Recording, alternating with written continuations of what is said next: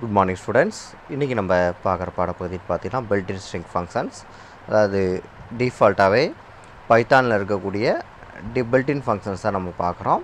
இது வந்து எல்லாமே பார்த்தீங்க அப்படின்னா ஸ்ட்ரிங் ஃபங்க்ஷன்ஸு இதில் நம்ம starts with length of function length of function அப்படிங்கிறதுக்கு வந்து எல்இஎன் அப்படின்னு ஒரு ஃபங்க்ஷன் தான் யூஸ் ஆகுது. இதில் வந்து ஒரே ஒரு ஆர்குமெண்ட்டு என்ன ஸ்ட்ரிங்கோ அதை கொடுக்கணும். அது ஸ்ட்ரிங்கை நீங்கள் டேரெக்டாகவும் கொடுக்கலாம். இல்லைன்னா ஒரு வேரியபிளில் ஸ்டோர் பண்ணிவிட்டு அந்த வேரியபிள் நேமே நீங்கள் கொடுக்க முடியும்.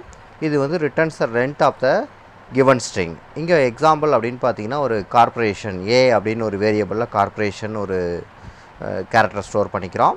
பிரிண்ட் ஆஃப் லென்த் ஆஃப் ஏன்னு கண்டுபிடிக்கும் போது கார்ப்பரேஷனில் மொத்தம் லெவன் கேரக்டர்ஸ் இருக்குது அது வந்து ஆன்சராக வந்திருக்கு. நீங்கள் இப்படி கொடுக்க முடியும். பிரிண்ட் ஆஃப் லென்த் ஆஃப்னு கொடுத்துட்டு ஏங்கிறத க வேரியபிளெல்லாம் ஸ்டோர் பண்ணாமல் டைரெக்டாகவே நீங்கள் வந்து டபுள் கொடுக்குற வெல்கம் அது மாதிரிலாம் கொடுத்தீங்கன்னா அதையும் வந்து நமக்கு ஆன்சராக வந்துடும் வெல்கம் அப்படின்னா ஏழுங்கிறது வந்து ஆன்சராக வரும். ஸோ அது மாதிரி உங்களால் கொடுக்க முடியும். இதுக்கு அடுத்த ஃபங்க்ஷன் அப்படின்னு பார்த்தீங்கன்னா capitalise of function capitalise of ஃபங்க்ஷனோட usage பார்த்தீங்கன்னா ஒரு ஸ்ட்ரிங் கொடுத்தீங்கன்னா அதோடைய ஃபஸ்ட்டு கேரக்டர் வந்து கேபிட்டல் லெட்டராக மாற்றி கொடுத்துரும். நீங்கள் ஸ்மால் லெட்டரில் சென்னைன்னு இங்கே கொடுத்துருக்காங்க சிட்டி ஈக்குவல் டு சென்னைன்னு கொடுத்துருக்காங்க. இப்போ சிட்டி டாட் கேபிட்டலைஸ் ஆஃப்ங்கிற ஃபங்க்ஷன் யூஸ் பண்ணும்போது சென்னையோட ஃபஸ்ட் லெட்டர் சியை மட்டும் என்ன பண்ணிடுது கேபிட்டல் லெட்டராக மாற்றி கொடுத்துருது. இதுக்கு அடுத்து நெக்ஸ்ட் ஒன் அப்படின்னு பார்த்தீங்கன்னா சென்டர் ஃபங்க்ஷன் சென்டர் ஃபங்க்ஷன் பொறுத்த வரைக்கும் ரீடபிலிட்டி இன்க்ரீஸ் பண்ணுறதுக்காக இருக்கக்கூடிய ஃபங்க்ஷன் இதில் நம்ம வந்து ரெண்டு ஆர்குமெண்ட்ஸ் கொடுக்குறோம். ஒன்று வந்து பார்த்திங்கன்னா வித்து இன்னொன்று வந்து ஃபில் கேரக்டர் வித்து அப்படின்னா எத்தனை கேரக்டர் அப்படின்னு கொடுத்துட்டோம்னா அதான் வித்து இப்போ பதினஞ்சு கேரக்டர்னு கொடுத்துட்டோம்னா பதினஞ்சு கேரக்டர் நம்ம கொடுக்குற கேரக்டர் இப்போ வெல்கமில் ஏழு தான் இருக்குன்னா ஏழு கேரக்டர் சென்டர் பொசிஷனில் வந்துடும் அதுக்கு முன்னாலேயும் பின்னாலேயும் என்ன கேரக்டர் பிரிண்ட் ஆகணுங்கிறது தான் ஃபில் கேரக்டரில் கொடுக்குறோம். ஃபில் கேரக்டர் பொறுத்த வரைக்கும் நம்ம வந்து என்ன கொடுக்குறோமோ அது வரும் இங்கே வந்து ஆஸ்ட்ரிக் கொடுத்துருக்கோம். String one dot centre of fifteen comma asterisk கொடுத்துருக்கோம். இங்கே ஆஸ்ட்ரிக் கொடுத்துருக்கறனால இட்ஸ் ஃபில்டு வித் ஆஸ்ட்ரிக் நீங்கள் எதுவுமே கொடுக்காம ஒரு ஒயிட் ஸ்பேஸ் கொடுத்தீங்கன்னா அது ஒயிட் ஸ்பேஸ் தான் வரும். ஸோ இது மாதிரி வேறு ஏதாவது கேரக்டர் வச்சு ஃபில் பண்ணிக்கலாம். அதர்வைஸ் வித் ஒயிட் ஸ்பேஸ் நீங்கள் ஃபில் பண்ணிக்க முடியும். இதுக்கு அடுத்த நெக்ஸ்ட் ஒன் அப்படின்னு பார்த்தீங்கன்னா find of function find of பொறுத்த வரைக்கும் இதில் வந்து ஒரு ஆர்குமெண்ட் கம்பல்சரியாக கொடுக்கணுன்னா சப்ஸ்ட்ரிங்கு எந்த ஒரு ஸ்ட்ரிங்கில் ஒரு சப்ஸ்ட்ரிங் அதில் இருக்கிற ஏதாவது ஒரு லெட்டரோ இல்லைன்னா மோர் தென் ஒன் லெட்டர் கொடுத்துட்டு நீங்கள் என்ன பண்ண முடியும்? ஃபைன் பண்ணிக்க முடியும். இதில் வந்து ஆப்ஷனலாக ரெண்டு கொடுக்கலாம். ஒன்று ஸ்டார்டிங் வேல்யூ எண்டிங் வேல்யூ எந்த பொசிஷன்லேருந்து ஸ்டார்ட் பண்ணி எந்த பொசிஷனில் வரைக்கும் செக் பண்ணணுங்கிறது நீங்கள் ஒரு வேல்யூ கொடுத்தீங்கன்னா ஸ்டார்டிங் வேல்யூ மட்டும் கொடுத்துருக்கீங்கன்னு அர்த்தம். ரெண்டு வேல்யூ கொடுத்துருக்கீங்கன்னா ஸ்டார்டிங் வேல்யூ எண்டிங் வேல்யூ கொடுத்துருக்கீங்கன்னு அர்த்தம். இங்கே எக்ஸாம்பிள் அப்படின்னு பார்த்தீங்கன்னா string one equal to mammals மம்மல்ஸ்னு ஒரு ஸ்ட்ரிங் இருக்குது string one dot find of M A அப்படின்னு கொடுக்குறோம். இப்போ இது எதை செக் பண்ண போதும் அப்படின்னா it find the value once find பண்ணிடுச்சுன்னா அதோடைய இண்டெக்ஸ் பொசிஷன் இப்போ எம் அப்படிங்கிறதோட இண்டெக்ஸ் பொசிஷன் அப்படின்னு பார்த்தீங்கன்னா ஜீரோ ஏன்னா ஃபஸ்ட் லெட்டர் வந்து ஸ்டார்ட்ஸ் வித் ஜீரோங்கிறனால ஜீரோ அப்படிங்கிறது ரிட்டர்ன் ஆயிடுச்சு ஓகேங்களா? இப்போ இதில் ஒரு வேளை அந்த ஸ்ட்ரிங் இல்லை அப்படின்னா it returns minus one minus one ரிசல்ட்டாக வருதுன்னா அந்த ஸ்ட்ரிங்கை கண்டு இல்லை அந்த நம்ம கொடுத்துருக்கிற ரேஞ்சிலையோ இல்லை நம்ம கொடுத்துருக்கிற சப்ஸ்ட்ரிங்கோ அவைலபிள் இல்லை அதில் இல்லைன்னா மைனஸ் ஒன் அப்படிங்கிறது வந்துடும் இப்போ இங்கே பார்த்தீங்கன்னா on omitting the starting parameter ஏன்னா ஸ்டார்டிங்லேயே ஜீரோவில் பொசிஷனில் எம்ஏன்னு இருக்குது அந்த எம்ஏ வேண்டாம். ரெண்டாவது இருக்கிற எம்ஏ தான் எனக்கு வேணும் அப்படின்னா ஸ்டார்டிங் பொசிஷனை மட்டும் மாற்றிக்கலாம் ஸ்டார்டிங் பொசிஷன் யூஸ்வலாக ஜீரோவில் ஸ்டார்ட் ஆகுது பார்த்தீங்களா? அதுக்கு பதிலாக எம்ஏ கமா டூன்னு கொடுத்தோம்னா இப்போ ஜீரோ பொசிஷனில் ஸ்டார்ட் பண்ணாமல் ஸ்டார்ட்ஸ் வித் டூ அப்படிங்கிற பொசிஷனில் ஸ்டார்ட் பண்ணோம். அப்புறம் தேர்டு பொசிஷனில் எம்ஏன்னு இருக்குது அப்போ த்ரீங்கிறது இங்கே ரிட்டன் ஆகிருக்கு இதுக்கு அடுத்தது அப்படின்னு பார்த்தீங்கன்னா string one dot find of M A comma two comma four two comma four அப்படிங்கிற ரேஞ்சில் உங்களுக்கு வந்து டூ கமா ஃபோருங்கிற ரேஞ்சில் வந்து எம்ஏங்கிறது இருக்கா அப்படின்னு பார்க்குறோம். ஆக்சுவலாக டூ கமா ஃபோரில் வந்து ஃபோரில் வந்து எம்ஏ இருக்காது. ஏன்னா இது இது பார்த்தீங்கன்னா இந்த மம்மல்ஸுங்கிறது பார்த்தீங்கன்னா ஜீரோங்கிற பொசிஷனில் எம் இருக்குது ஒன்றுங்கிற பொசிஷனில் வந்து ஏ இருக்குது இப்போ நம்ம கொடுத்துருக்கிற ரேஞ்ச் வந்து டூ கமா நம்ம கொடுத்துருக்க ரேஞ்ச் வந்து அப்படின்னு பார்த்தீங்கன்னா டூ கமா ஃபோர் கொடுத்துருக்கோம். டூ கமா ஃபோர் அப்படின்னு பார்த்தீங்கன்னா அந்த ரேஞ்சில் வந்து எது வராது அப்படின்னு பார்த்தீங்கன்னா எம்ஏ அப்படிங்கிற கேரக்டர் வராது. அப்போ அதுக்கு என்ன ரிசல்ட் வந்திருக்கு அப்படின்னு பார்த்தீங்கன்னா மைனஸ் ஒன் அப்படிங்கிறது ரிசல்ட்டாக வந்திருக்குது. ஓகேங்களா? மைனஸ் ஒன்றுங்கிற ரிசல்ட்டாக வந்திருக்கு. அப்போ அந்த பொசிஷனில் வந்து இல்லை அப்படின்னு அர்த்தம். சார் ஃபோர் தானே கொடுத்துருக்கோம். எம்ஏ வந்துருமே அந்த ஃபோருக்குள்ளேயே வந்துருமேனா? எப்பயுமே வந்து எண்டிங் வேல்யூங்கிறது ஸ்ட்ரிங்கை பொறுத்த வரைக்கும் நாலுன்னு கொடுத்தீங்கன்னா மூணோட முடிஞ்சு போச்சு. டூ கமா த்ரீ வரைக்கும் தான் செக் பண்ணோம். ஃபோர்த்து பொசிஷனில் செக் பண்ணாது. எப்பயுமே ஸ்ட்ரிங் பொறுத்த வரைக்கும் டிஃபால்ட்டான ரிசல்ட் இது தான் டூ கமா ஃபோர் அப்படின்னா அதோட ரேஞ்ச் வேல்யூ என் மைனஸ் ஒன்னோட நின்றோம். அப்போ டூ கமா த்ரீ வரைக்கும் தான். அதை தான் இங்கே மென்ஷன் பண்ணியிருக்காங்க. Could not found between the index value two and four minus one that means two and three பொசிஷனில் இல்லை அப்படின்னு அர்த்தம்.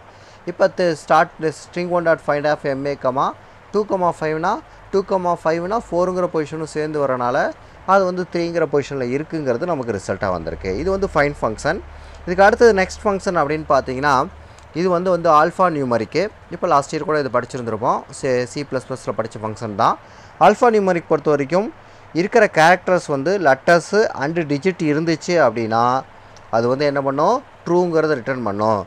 இல்லை அப்படின்னா இட் ரிட்டர்ன் ஃபால்ஸ் ஓகேங்களா if the string contains any characters like underscore at hash asterisk extra இதெல்லாம் இருந்துச்சு அப்படின்னா அக்செப்ட் பண்ணிக்காது. அப்போ ஆல்ஃபோபட்ஸும் நம்பர்ஸும் மட்டும்தான் இருக்கணும். இங்கே ஒன்று பார்த்தீங்கன்னா for example string one equal to save எர்த்துன்னு கொடுத்துருக்காங்க. சேவ் எர்த் ரெண்டுமே வந்து ஆல்ஃபோபட்ஸ் தான் இருக்குது ஆனால் நடுவில் பார்த்தீங்கன்னா ஒரு ஒயிட் ஸ்பேஸ் இருக்குது அந்த ஒயிட் ஸ்பேஸ் வந்து ஆல்ஃபபட் கிடையாது. அப்போ என்ன பண்ணுது? String one dot is alphanumeric ஆஃப்னு நம்ம கொடுத்தோம்னா நமக்கு வரக்கூடிய ரிசல்ட் அப்படின்னு பார்த்தீங்கன்னா ஃபால்ஸுங்கிறது தான் ரிசல்ட்டாக வருது. தட் மீன்ஸ் இங்கே வந்து ஒயிட் ஸ்பேஸ் வந்து ஆல்ஃபபட் கிடையாதுங்கிறனால ரிசல்ட் ஃபால்ஸாக வந்திருக்கு. அதே மாதிரி அப்படின்னு பார்த்தீங்கன்னா நெக்ஸ்ட் ஃபங்க்ஷன் வந்து அதே ஏதோ ரைட்டாக பார்த்தீங்கன்னா இன்னொன்று கொடுத்துருக்காங்க.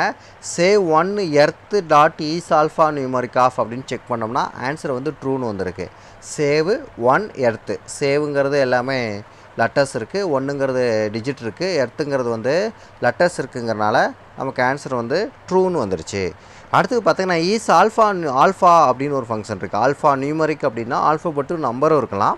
இங்கே பார்த்தீங்கன்னா ஆல்ஃபா அப்படின்ட்டு ஒன்லி லெட்டர்ஸ் மட்டும்தான் இருக்கணும். நம்பர்ஸ் வந்தாலும் நமக்கு என்ன தான் ஆன்சர் வரும்? ஃபால்ஸ் தான் வரும். Click one twenty three dot is alpha ஆஃப்னு கொடுத்துருக்காங்க. Click okay one twenty three அப்படிங்கிறது வந்து நம்பருங்கிறனால ஃபால்ஸு பைத்தான் டாட் ஈஸ் ஆல்ஃபானா பைத்தானில் எல்லாமே லெட்டர்ஸ் தான் இருக்குது so the answer is true அப்படின்னு வந்திருக்கு.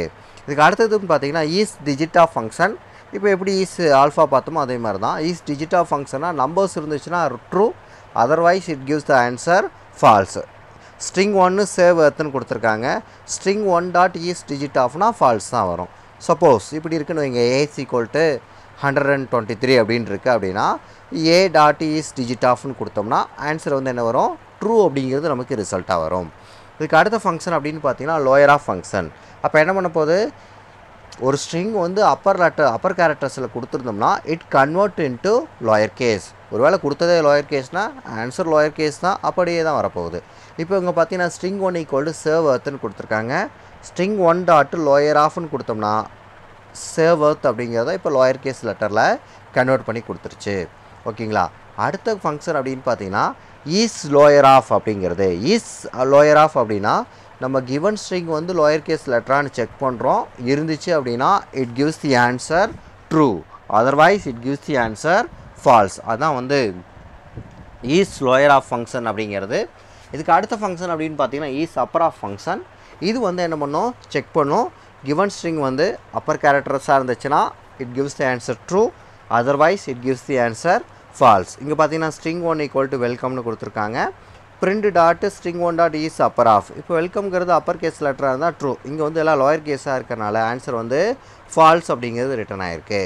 இதுக்கு அடுத்தது அப்படின்னு பார்த்தீங்கன்னா அப்பர் ஆஃப்னு ஒரு function return the exact copy of the string with all letters in upper case எல்லாமே அப்பர் கேஸாக கன்வெர்ட் பண்ணி கொடுக்க போகுது. இங்கே வந்து ஸ்ட்ரிங் ஒன் ஈக்குவல் டு வெல்கம்னு கொடுத்துருக்கோம். எல்லாம் ஸ்மால் லெட்டரில் இருக்குது print of string dot string one dot upper of அது ஸ்ட்ரிங் ஒன்றுன்னு வரணும். அது வந்து பிரிண்டிங் மிஸ்டேக்காக இருக்குது அதை பார்த்துக்கங்க. ஸ்ட்ரிங் ஒன் டாட் அப்பர் ஆஃப்னு கொடுத்துட்டோம்னா நமக்கு என்ன ரிசல்ட் வந்துடும் வெல்கம்ங்கிறது எல்லாமே கேபிட்டல் லெட்டராக வந்துடும் இதுக்கு அடுத்தது அப்படின்னு பார்த்தீங்கன்னா டைட்டில் ஆஃப்னு ஃபங்க்ஷன் இது வந்து டைட்டில் கேஸ்க்கு மாற்றுறது டைட்டில் கேஸ்னால் ஒவ்வொரு வேர்டுடைய ஃபஸ்ட் லெட்டருமே கேபிட்டல் லெட்டராக போட்டு எழுதணும்னா அதுதான் டைட்டில் கேஸ்ன்னு சொல்லுவோம்.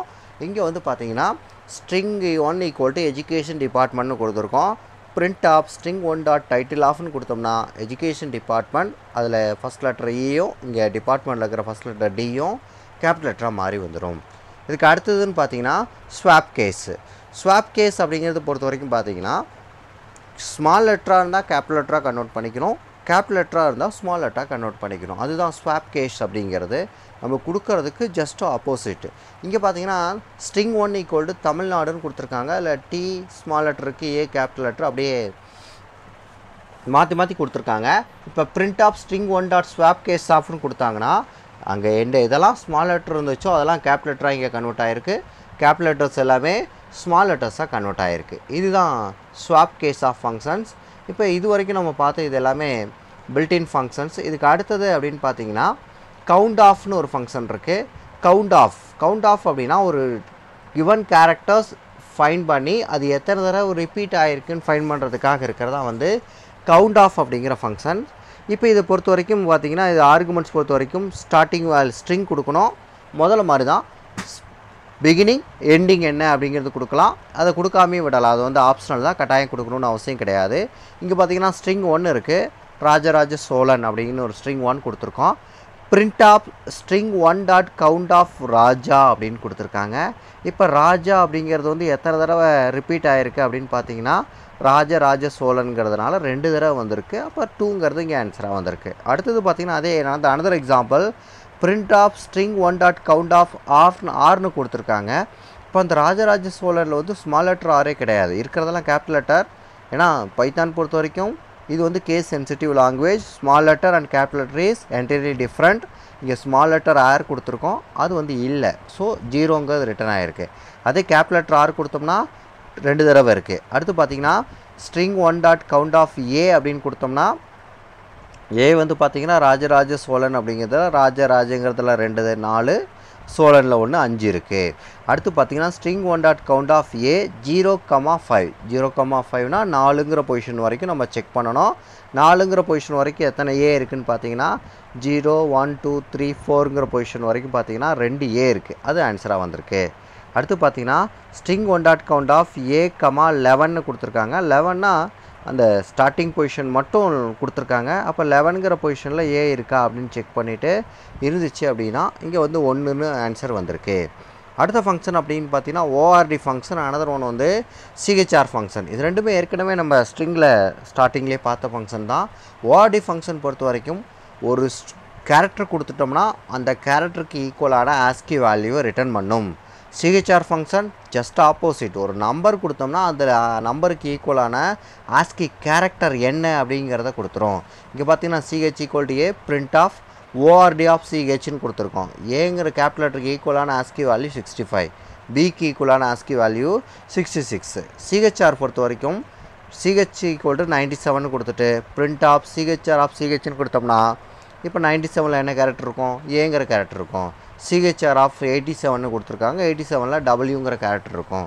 ஸோ இது மாதிரி ஃபைன் பண்ணிக்கிறது தான் சிஹெச்ஆர் ஓஆர்டு இது ரெண்டுமே ஜஸ்ட் ஆப்போசிட் ஃபங்க்ஷன் ஒன்று வந்து கேரக்டர் கொடுக்கும் இன்னொன்று வந்து அந்த கேரக்டருக்கு ஈக்குவலான ஆஸ்கி வேல்யூ கொடுக்கும். ஓகேங்களா இது வரைக்கும் இருக்கிறது இது எல்லாமே பில்டின் ஃபங்க்ஷன்ஸு இதுக்கு அடுத்து இருக்கிறத நம்ம நெக்ஸ்ட் கிளாஸஸில் பார்க்கலாம். தேங்க்யூ